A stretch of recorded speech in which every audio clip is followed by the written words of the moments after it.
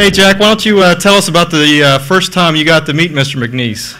Well, we were assigned to regimental headquarters because they were setting up the 506.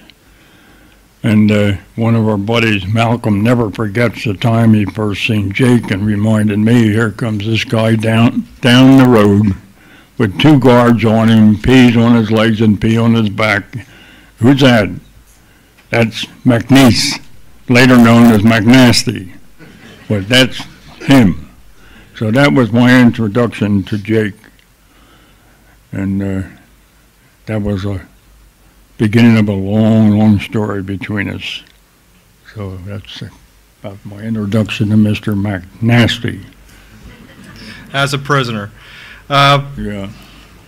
now, he was pretty much full of pranks and always had something going on. Now, you guys did some uh, demolition charges out, blowing out some stumps to clear out a lake for a swimming hole. Uh, what did you run into there? Well, uh, one of his antics was uh, when we got to North Carolina after our training and jump training, all we went. Our officer wasn't too well liked, but he volunteered us for fire spires and blowing stumps out of the lake. And uh, we were out there in March and our shorts. It was pretty cold. We had an old raft, and we'd push the stuff out and get nitro starch under these stumps and of course, the signal is fire in the hole, demolition man, and wham, up goes these stumps, and what the heck is that? Snakes flying all over the place, cottonmouths. So I look at him, and there is his eyes, looks like ears going on, and what's he up to next, you know? So he says, get two stumps ready. Here he spotted a whole glider detachment double timing down the road.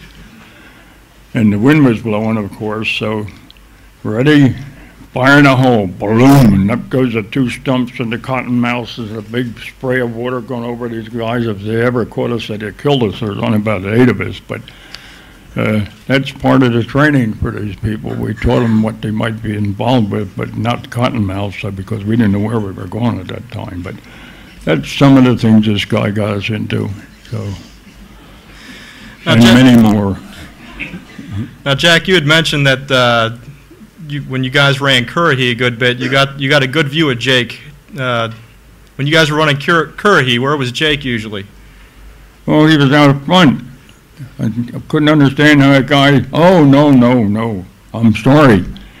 Uh, That was before he got in the stockade.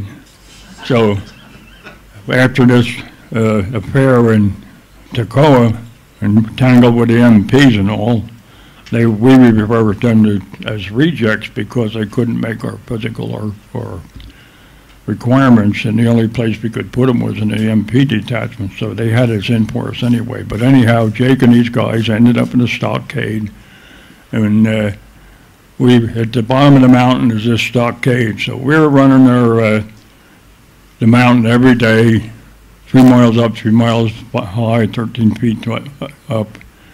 And by the time we got, we were really dragging. And here's these guys laughing at us. We're breaking their tuchus and they're in the stockade having a ball. So, uh, you know, th- that's the way this guy thought, you know? So I think he had it all planned ahead of time.